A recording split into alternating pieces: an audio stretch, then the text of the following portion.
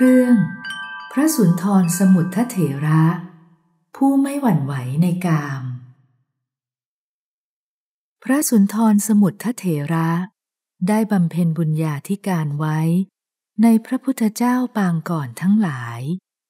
สั่งสมบุญทั้งหลายไว้ในภพนั้นๆ ในพุทธุปบาทการนี้ บังเกิดเป็นบุตรของเศรษฐีผู้มีทรัพย์สมบัติมากคนหนึ่ง ในกรุงราชครืได้มีชื่อว่า สมุทรแต่ปรากฏชื่อว่า สุนทรสมุทรเพราะมีรูปสมบัติ ท่านดำรงอยู่ในปฐมวัย ได้เห็นพุทธานุภาพ ในคราวที่พระผู้มีพระภาคเจ้า เสด็จเข้ากรุงราชครืจึงได้ศรัทธา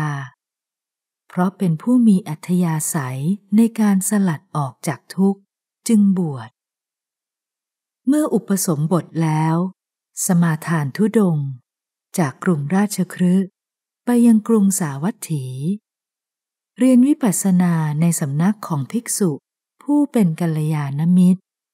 บำเพ็ญเพียรกรรมฐานอยู่ ในวันมีมหรสพในกรุงราชครืมารดาของท่านได้เห็นลูกเศรษฐีอื่น ๆ พร้อมภรรยา พากันตกแต่งประดับประดา เล่นมหรสพอยู่ หวนระลึกถึงบุตรจึงร้องไห้ หญิงคณิกาคนหนึ่งเห็นดังนั้น จึงถามถึงเหตุที่ร้องไห้ นางจึงบอกเหตุนั้นแก่หญิงคณิกาคนนั้น หญิงคณิกาได้ฟังดังนั้น จึงกล่าวว่า ถ้าดิฉันจักนำเธอกลับมาได้ดิฉันจะได้อะไร นางจึงสัญญาว่า ถ้าเจ้าทำสำเร็จ เราจะให้เจ้าเป็นภรรยาของเขา แล้วตั้งให้เจ้าเป็นใหญ่ในตระกูล ดังนี้แล้ว ให้ทรัพย์เป็นอันมากแล้วส่งไป หญิงคณิกานั้นจึงไปยังกรุงสาวัตถี พร้อมด้วยบริวารเป็นอันมาก แล้วพักอยู่ในเรือนหลังหนึ่ง ใกล้ที่เที่ยวบินทบาทของพระเถระ ใช้ให้คนอื่นๆ ถวายบินทบาทแก่พระเถระโดยเคารพ ส่วนตนเองตกแต่งประดับประดา สวมรองเท้าทอง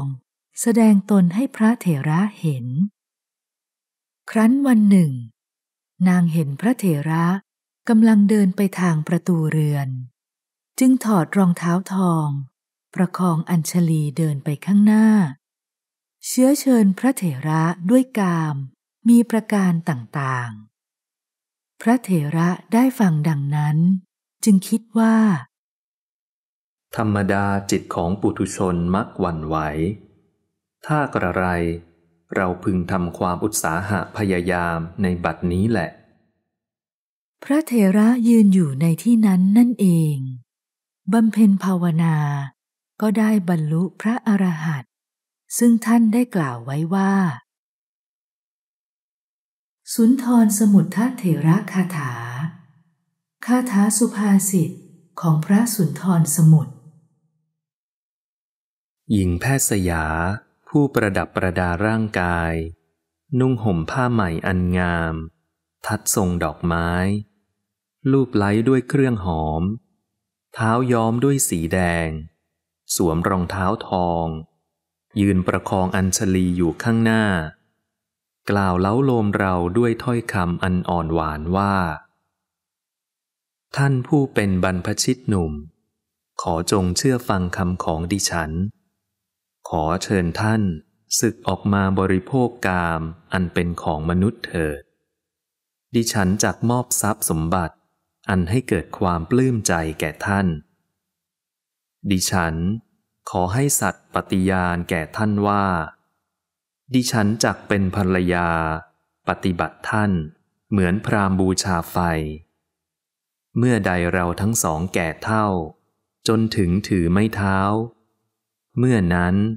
เราทั้งสองจึงค่อยบวช เมื่อเป็นเช่นนี้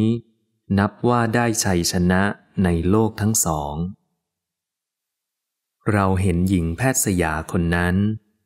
ผู้ตกแต่งร่างกาย นุ่งห่มผ้าใหม่ อันงามดีมาทำอัญชลี พูดจาเล้าโลมเรา เหมือนกับบ่วงมัจจุราช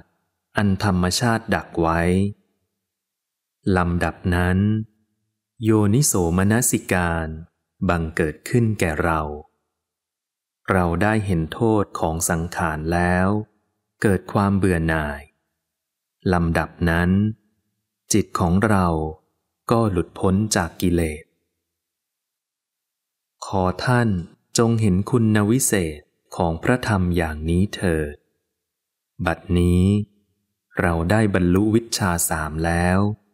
ได้ทำตามคำสั่งสอนของพระพุทธเจ้าเสร็จแล้ว จบ สุนทรสมุทรทเถระคาถา เรื่อง พระสุนทรสมุทรทเถระ จบ